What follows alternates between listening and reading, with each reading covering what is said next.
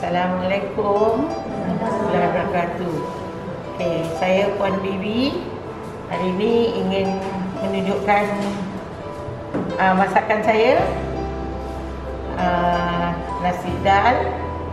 Saya adalah uh, datangnya dari seorang suri rumah eh. Dari itu saya bina bisnes saya. Uh, sekarang uh, dah 20 masuk 26 tahun lah bisnes yang saya buat tu. Inilah pertama kali saya sedang mengajar masak. Lama ni tak pernah ajar masak. Jadi kalau ada apa-apa kurangan ke apa, saya minta maaf saja. Okey. Ini ini adalah beras yang saya tulis tu eh, 14 cup. Maknanya cup yang macam ini. Cup beras yang kita dapat kan dalam rice cooker. Uh, cup ini saya pakai 14 cup beras basmati. Ini grade yang paling baik 1121 kita panggil. And dalnya pun uh, saya pakai satu gayung satu cup ni. Ah uh, ni saya dah masukkan sekali. Kira beras ni kita bilas dua kali aja. Lepas tu kita rendam macam ni. Rendam at least setengah jam. Ha. Ni dah tak, tak besar kan. Jadi I kena ikat kalau besar lepas gitu je eh.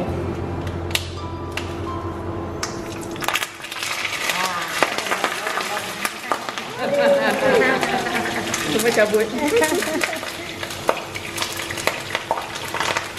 dah selesai. Ha, kalau tak ada bau macam gini, masalah tak boleh sedap. Macam mana sedap pun dia tak rasa. Is this on? No. I think it's on, right? Dia mana dia lari? Nanti jiran atas turun dia dah bawah. Hmm, bau kan. Ha, this is one. Kalau I masak, uh, selalu make I masak. Tapi bila I masak, anak-anak I dari tingkat dua dah tertanya. Are you cooking, Mami? Sebab bau naik atas. I ada kawan-kawan semua cakap anak I suka mi branding sebab tak ada benda-benda tu. Diorang tak tergigit kan.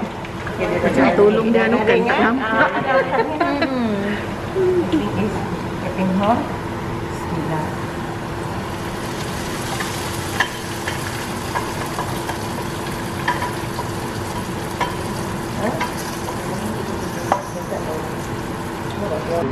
Tukang masak saya kalau tengok saya pakai garam, pakai pakai yang besar, saya gini, gini.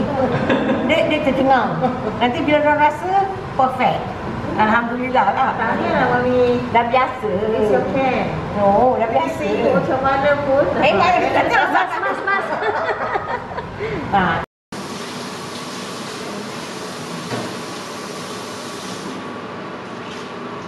Itu dia.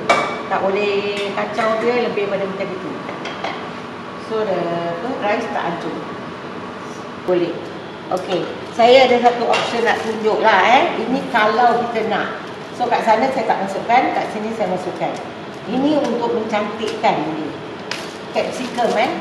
I cut this is something people say like diamond. Nampak tak? Dia cantikkan warna.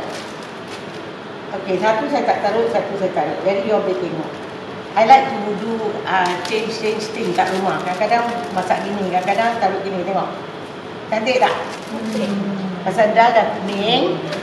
Ha, but you must put bila dah nak kat kering lah. You jangan taruh dari sencang. Ha, dia tak change. Ni tengok dia boleh cantik eh. Okey, hijau. Ha, kuning, dal, habis tu merah. Ni, ni bawang goreng ni is uh, shallot eh. Bukan bawang besar eh, bawang kecil. Banyak orang jual kat kedai semua bawang besar. Okey. Ha. Dan you goreng gajus, you boleh taruh gajus. Okey. So this one is ready. Okay, tak payah nak tunggu dia panas. Tak payah tunggu apa. Saya masukkan lagi.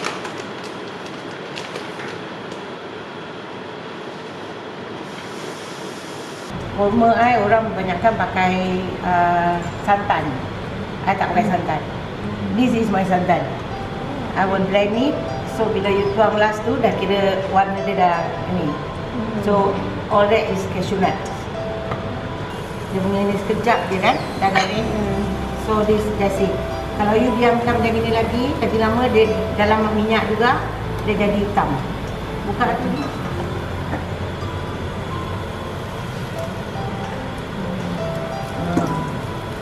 Okay minyak pun tak apa. Lagi sedap. Okey, ni buka. Tak boleh. Alright. Smell.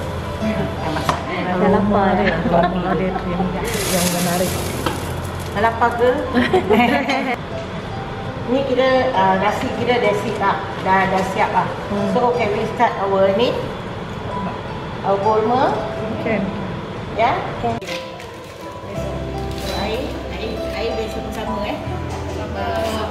Barulah asap dia keluar macam ni. Ada insect eh. Hmm. Potong bawang ni pun ada method eh. Kalau banyak orang, orang tak kisah potong macam mana pun boleh. So kalau you potong macam gini, bila you tumis, lambat garing. So kita potong macam gini. Jadi, nampak tak? Dia halus kan? Dan dia datang pun panjang-panjang, senang halus. Kalau kita potong macam gini, we get is bulat-bulat macam gini. Nampak tak kekasaan dia, dia tak akan garing cepat. Okay. Ini belajar dengan tips eh. Ha. Ha. Ya.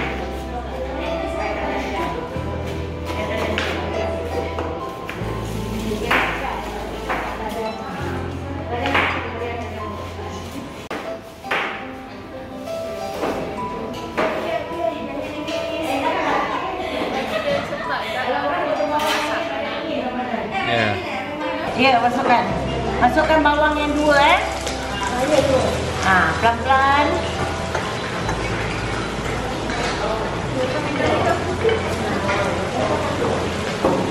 Bawang yang mana kayu manis dia. Kalau tak garing bawang, yo yo masakan lepas tu akan rasa tak sedap. Ha. You're conducting the class. it? Bawang garing. Garing. Inspection. Okay. So bila bawang ni garing, you masukkan ayam eh. Chicken ready ah?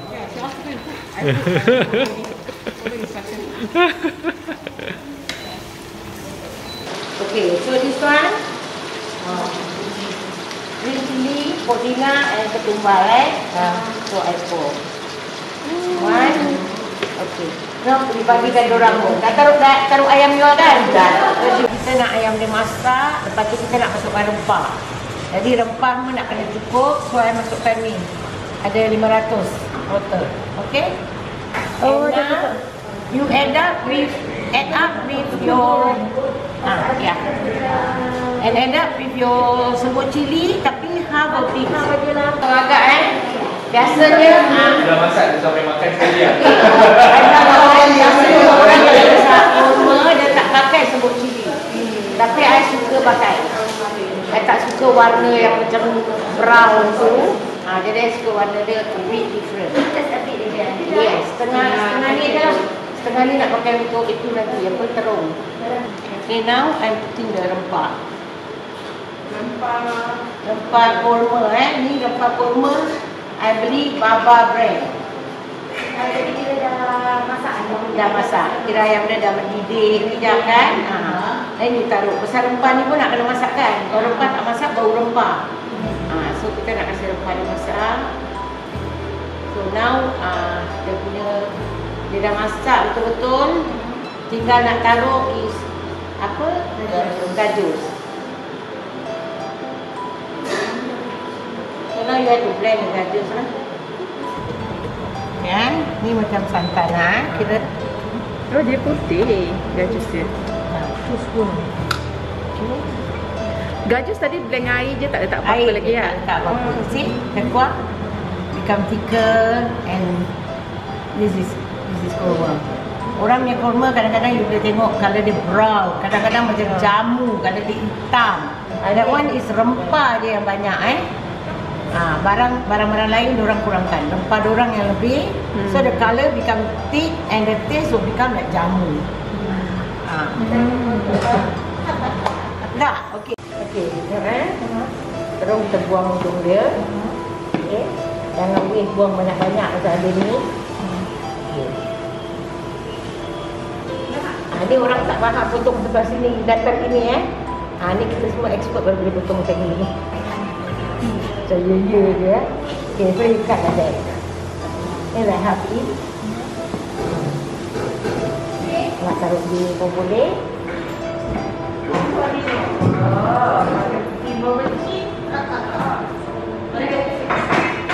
Yes. Okay, semua potong macam ni.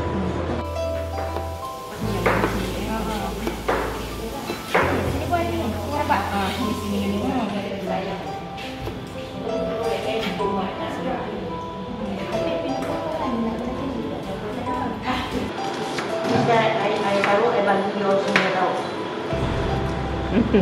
I asam aku bagi. Oh, this is for the whole plaza. Yeah. This amount. Yeah. Let me very little lah. Yeah, you don't need a lot because for one terung only, right? Oh, yeah. Ah, so this is considered for the six terung lah. here. Okay, understood. Ah, Okay. okay.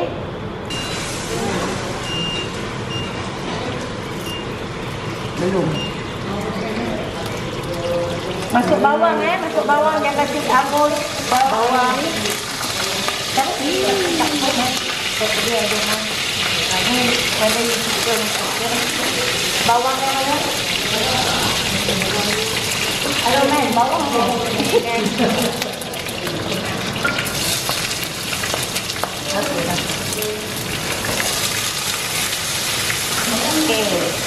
Bila bawang garing, bawang dia yang ni kita tak nak garing.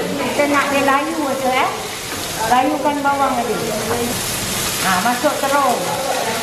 Yang macam gini je masuk terung eh. Ada bawang putih masuk terung.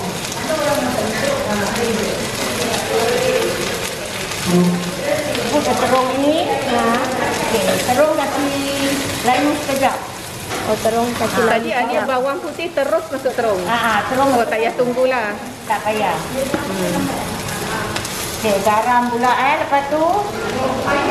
Dia dah lain-lain. Okey. Everyone take your salt. Nah, masuk masuk terung, masuk garam. And a little bit of kunyit serbuk eh.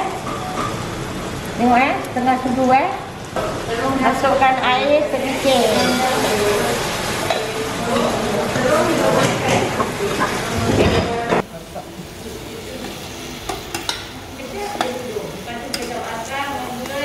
Ah, nice.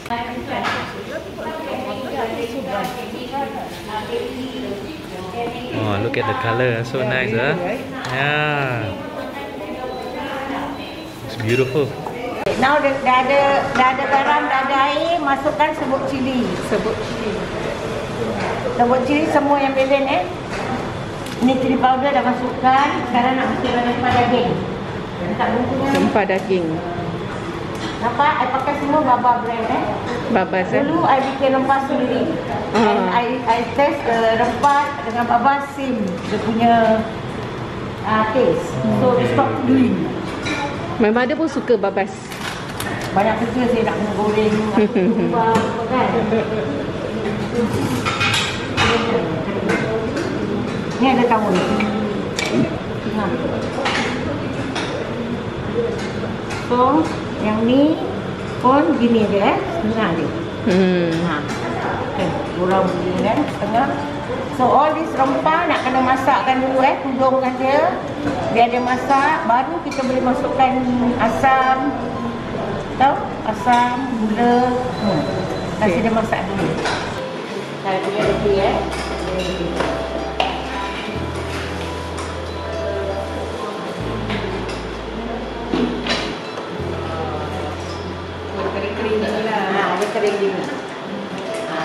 terung ni belum masak betul-betul eh, main. Pasal dari tadi api dah terbagi. Ni main terung, tak masak, orang yang pun dah masak. Ah. Macam tukang masak ajar ni orang ni tak terung tak masak.